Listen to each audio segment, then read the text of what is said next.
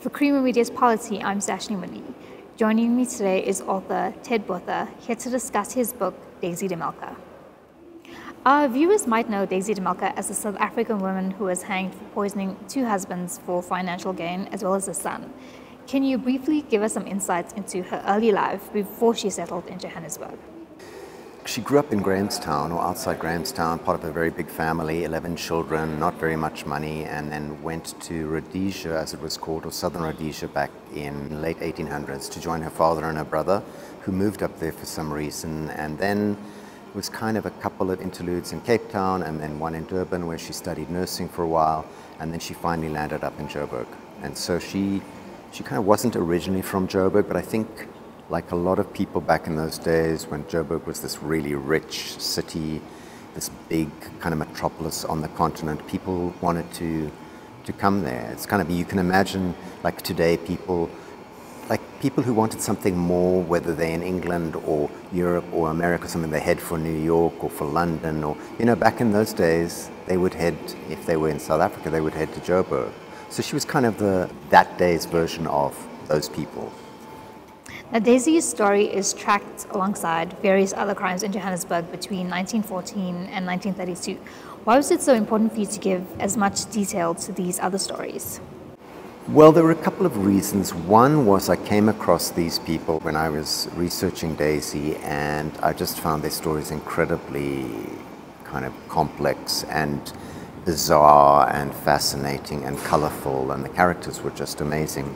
So it was the Foster Gang and Andrew Gibson and Dorothea Kraft and Herman Charles Bosman, and uh, you know people will read the book and find out who these characters are, and they kind of all interweave through Daisy's story. They were playing out in the background, then she would come back again, then they would pop out of the kind of woodwork somewhere, and for me, it drew a picture of Joburg at the time, for one, to show that Joburg was this um, University of Crime, as it was called way, way, way back.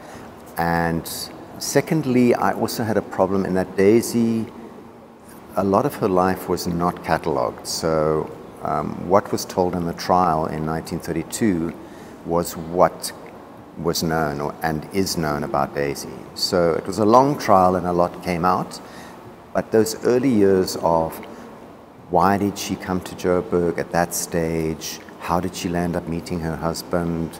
Uh, why did she? Uh, I mean, she never admitted to killing anybody. But those kind of background questions and what she was doing in Bertrams at the time, um, those were kind of all very kind of in the background. So I needed something to fill up those days when we knew she was there, we knew she was killing people, but there wasn't anything to kind of say how she was doing it or where exactly she was going. So you knew the basic movements of her life, but not like the nitty gritty. So it was a great mechanism for me to bring in these other people who were also, some of them were living right close by to her, were doing their thing, and, you know, I could kind of even it out. And then she starts from halfway through the book, she starts taking over and becoming the prominent character. And I mean, the other characters still stay around, but they play a lesser role. So I think it evened itself out in the end. Kind of story about the criminals, about her, and of course about the city where they found themselves, which is this incredible Joburg. One of these stories involves the Foster Gang. Uh, briefly give our viewers some insights into this gang, which starts off the book.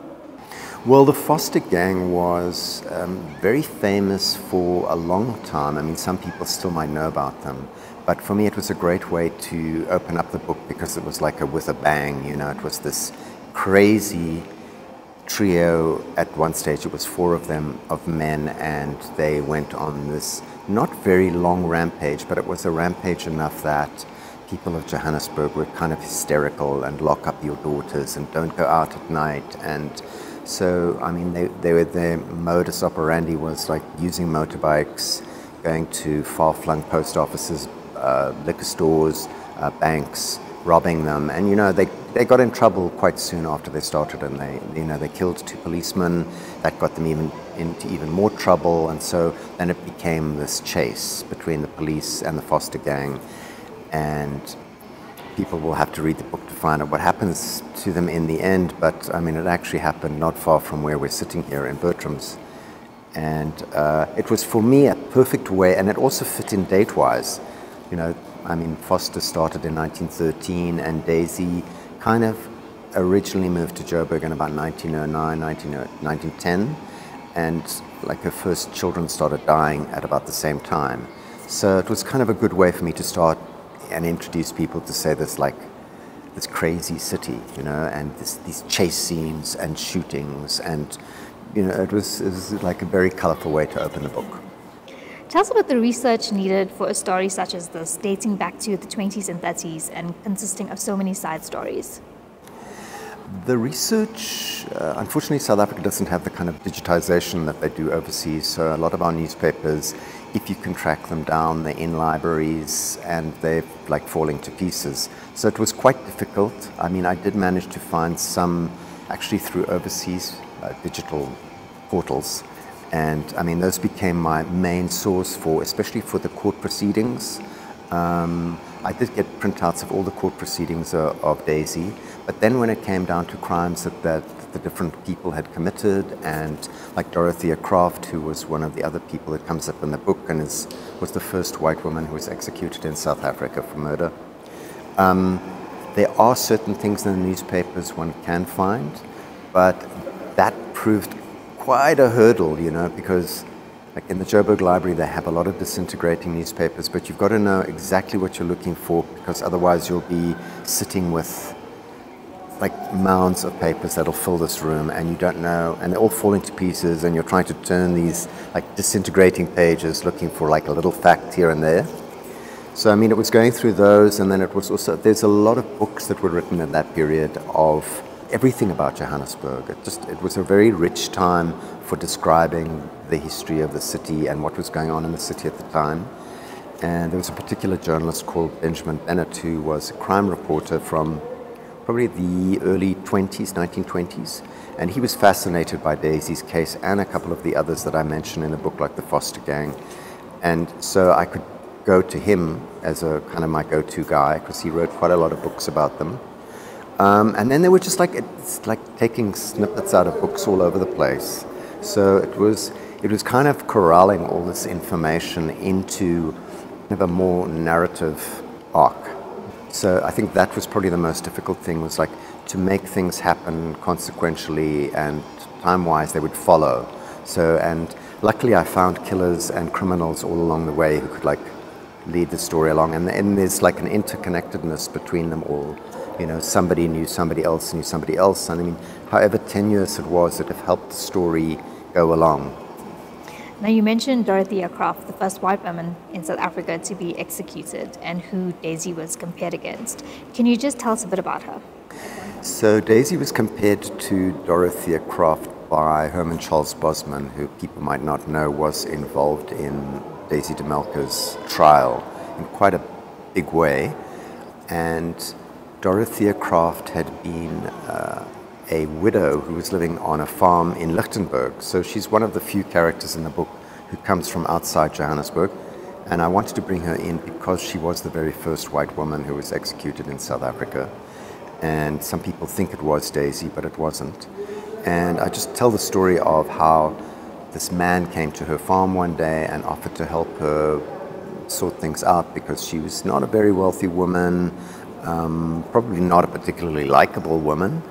And this guy said, Well, I'll come in and help you manage the farm and help you make some money. And in the end of the day, she kind of lost the farm to him. And so she wanted to figure out how she could get rid of him. And so the story in the book is how she got in uh, cahoots with a drifter and a witch doctor, and they tried various ways to get rid of him. And finally, they did. And, you know, and that fallout from what happened after that. A lot of these murderers seem to be on the eastern side of Johannesburg. Was there any reason you could find for that? No, I mean, it was something that I kept seeing, and yet I didn't draw the conclusion until quite late in writing the book that, you know, Herman Charles Bosman, Daisy de Melker, Andrew Gibson, who is a fantastic criminal who pops up a lot in the book, and uh, William Foster, they all had some connections to where we're sitting right now uh, to Bertrams, to Lorentzville, to uh, Belgravia.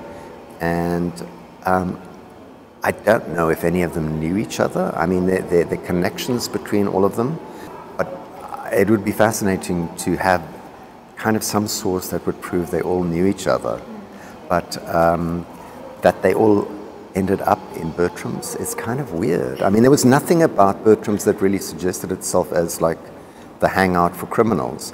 I mean, there were a lot more. Uh, there was a lot more criminal activity going on in places like uh, Newtown, Fordsburg, that side of the city, the west side.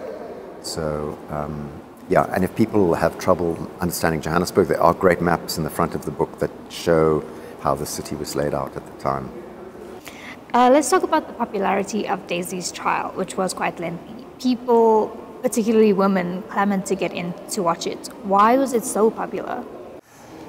So I think it was a couple of reasons. It was a murder trial for one, um, and I think trials in general were very popular because this was uh, this was when movies were going from silent into talkies, um, and Harry Morris, who was this incredible lawyer who was Daisy's lawyer, he said in his, his autobiography, you know, trials were like better than a movie because it was everything was real, everything was in front of you. You know, people were jumping on tables, you know, women were fainting, people were crying, and all of this all happening in front of you. And I think a large element was that. Um, a large element was, I mean, I, I, think women predominated in most of these trials anyway. They were never allowed on juries, that was law. Um, but they did predominate in the audience boxes, in the, in the spectator galleries.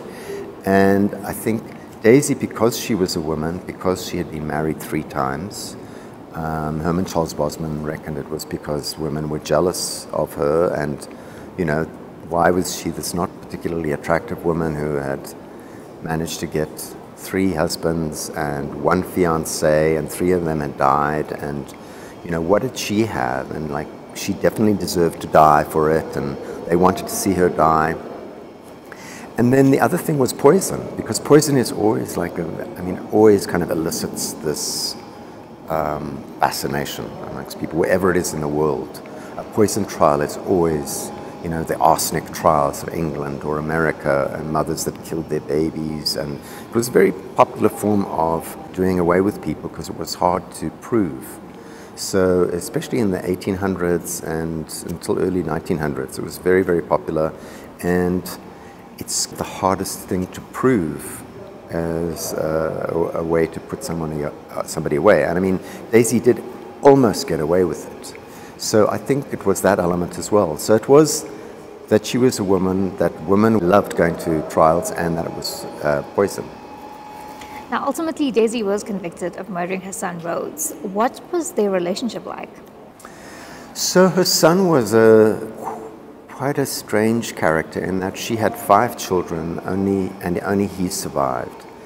And we don't know why he survived. You know, if she did do away with the other children, and she gave him this fantastic name of Rhodes Cecil. So she was naming him after the kind of the richest man in the world, Cecil John Rhodes, and he actually turned into like a little bit of a do nothing, didn't achieve anything. Um, when she had a bit of money from one of her husbands dying, she sent him to Hilton, which is extremely expensive, and you know he couldn't put up with more than a year. And then he came back to Johannesburg. She tried a private school in Johannesburg and he just he didn't crack it. And I think she slowly came to that realization that this, this boy was going to kind of, she was going to be stuck with him for the rest of her life. And I think that in the end um, was kind of what pushed her over the edge with him. Maybe she would have let him live um, if he had been less demanding. But she, uh, I think there was a belief that she was also part of the reason that he was so demanding because she gave in to him all the time. She bought him motorbikes, she bought him musical instruments which he didn't want to play. You know, he got angry, he threw tantrums, you know, he hit her. Um, so the, all of this came out in the court, which of course the audience loved. You know, it was all these stories of the mayhem that went on in the household. And lastly, for someone who mostly went by unnoticed as she murdered people, how did Daisy deal with the attention she received during the trial? Uh, she loved it, I think. Uh, she was uh, like the earliest form of a celebrity in a court. uh, way before social media. And she was very savvy. I think people have a particular thought of Daisy when her name is mentioned. You know, she was uh, very unattractive, she was a horrible woman, she was a murderer. But you know, she was also incredibly strong.